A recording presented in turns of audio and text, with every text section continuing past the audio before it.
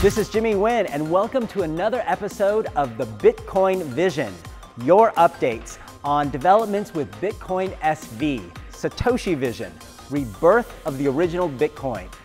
I'm coming to you this week from Melbourne, Australia, home of Pause Fest, the world's leading creativity infused business event, as well as a side event put on by the Blockchain Center and Innovation Melbourne. It's a perfect environment to talk about the explosion of creativity in Bitcoin SV. Stay tuned and learn about what's going on with the scaling test network going public, op return data capacity exploding, what's on chain, Crypto Fights, a 3D game, and the Internet of Things on the blockchain from nChain's Dr. Craig Wright. There's so much creativity going on, you've got to stay tuned for the Bitcoin Vision. First, let's talk scaling. Scaling is critical to the Satoshi vision to ensure that enterprises have the throughput capacity they need, as well as security and stability. So that's why I'm excited to be the first to tell you about the public launch of the BSV Scaling Test Network, or STN.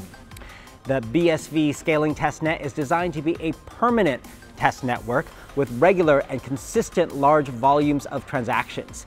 It also includes enhancements that the nChain team used to recently demonstrate sustained 64 megabyte blocks in their own testing.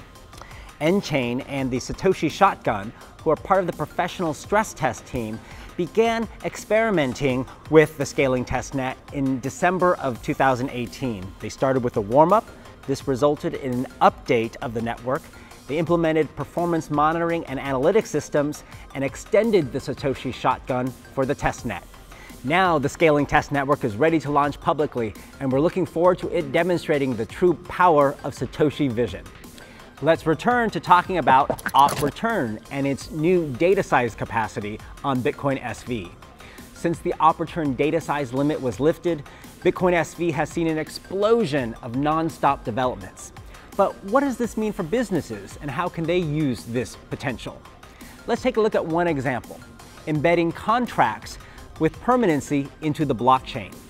A business could take a contract and record it permanently in a Bitcoin transaction in the op field so that they could find it later in the event of a dispute with the other contracting party.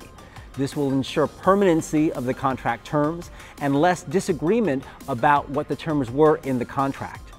In addition, software can now be written that searches for the op return opcode in an outputs script pub key, and then use it to verify the digital asset to make sure it's authentic. This is just one example of the many enterprise usages of Bitcoin SV in the op return data capacity. This week's Satoshi shoutout goes out to the team behind What's on Chain. Not only is What's on Chain one of the first Bitcoin SV block explorers, their team has now added new features related to op return, such as being able to see the different data types embedded into op return fields. The tool is intended to be a simple, self-hosted explorer for the BSV blockchain, driven by remote procedure calls to a BSV node. What's on Chain has enthusiastic developers, and they're a good example of how innovation can continue growing from Bitcoin SV's roadmap. So what's on chain? Here's your special Satoshi shoutout. Next, we go hybrid with Money Button on chain. If you want to have some fun, then Ryan X Charles has put the Money Button on the blockchain, and it's interactive. As explained on his Twitter account, the on-chain money button is the first example of a computer plus blockchain plus human hybrid organism. It's like a full-on alien movie hybrid here. And more importantly, it lives based on the interaction between everything, and it never dies. So if you want to do your part in helping the on-chain money button live forever, please just swipe the button. Let's get into a 3D crypto fight. Crypto Fights is a mobile game that has a free-to-play model and it's moving over to the Bitcoin SV blockchain. Shruggr, in a yours.org article that announced the change, wrote that we're porting what used to be our side chain over to Bitcoin SV and making it the first class chain. This is really exciting to hear, and I can't wait to see if CryptoFights also moves its token over to the Bitcoin SV chain using the tokenized protocol. Check it out and get into your own CryptoFight. The Bitcoin world sure loves a meetup. And now for the Bitcoin SV ecosystem. There's an easy to use site to keep track of meetups for BSV enthusiasts around the world. It's Bitcoin Meetup Network and it allows anyone running a local meetup to post information about your event and allows anyone looking to find a meetup to easily locate one. Already, the Bitcoin Meetup Network has displayed information for the following cities Brisbane, Sydney, and Melbourne in Australia, Toronto in Canada, Haarlem in the Netherlands, Oslo in Norway, Singapore, London, Chicago, Keene, New Hampshire, and San Francisco in the United States, and Manila in the Philippines. We're growing globally, so check out meetups all around the world on the Bitcoin Meetup Network. Finally, let's check in on the right vision for Bitcoin from nChain's chief scientist, Dr. Craig Wright. Dr. Wright has been writing regularly about new usages of the Bitcoin SV blockchain using nChain's intellectual property. And his latest post is about the Internet of Things. It's entitled Generic Thin Operating System for Blockchain IoT Devices. It outlines solutions for increasing security and privacy of IoT devices, while at the same time creating automated management, all by linking them to the Bitcoin SV blockchain. By the year 2020, more than 50 billion IoT devices are expected to be connected to the internet. So connecting them also and managing them through the Bitcoin SV blockchain will help truly unleash their power. As Dr. Wright explained, such devices may be extremely small and contain only limited processing and memory capacity. So it would be an advantage to have an operating system that's generic, yet small enough to be loaded into any device and yet retain strong cybersecurity. To achieve that operating system, Dr. Wright proposes usage of nChain's inventions, including for an operating system for blockchain IoT devices, and even coins the concept of a BID, blockchain Internet of Things device.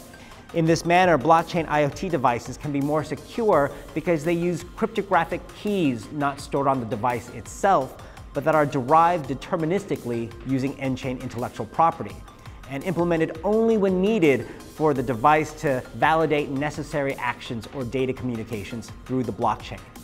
What could you do with such operating systems on the blockchain? Well, you could trigger automated actions from devices if certain conditions are met. For example, if your home thermostat hits a certain temperature that's too warm, it'll automatically tell the air conditioning unit to turn on and cool down the house.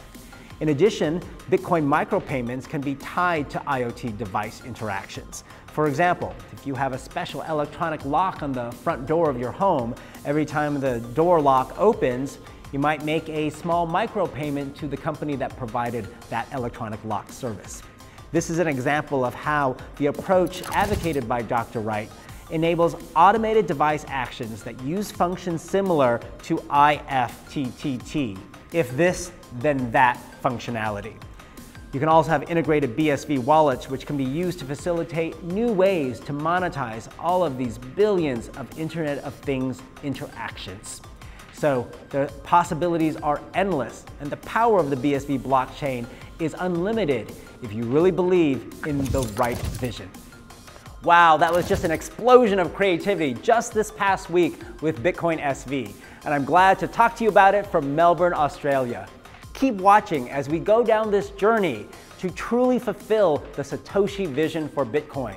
Bitcoin SV will become the world's new money and the global public blockchain for enterprises. You'll see it all unfold here with the Bitcoin vision. Thanks, I'm Jimmy Nguyen.